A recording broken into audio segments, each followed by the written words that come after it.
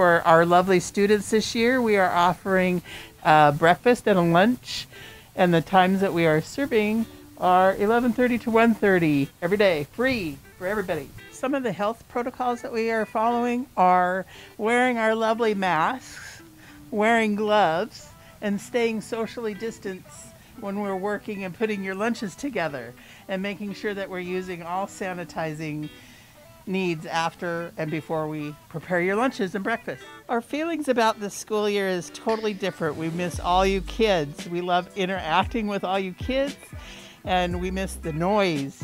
We miss the watching you guys do some of the things for homecoming that we've watched year after year after year. And believe it or not, we miss the Friday song. no, not all of we just miss you guys. The breakfast and lunch menu, I hate to tell you, is a little boring for us lunch ladies. We're used to serving quite the variety throughout the school year, but now we have to like follow more of a universal lunch menu throughout the district so everybody's getting the same universal things so people aren't complaining well that school's serving you better things.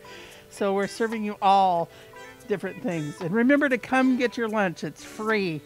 11:30 to 1:30 thanks. 0 to 18 we're here to greet you.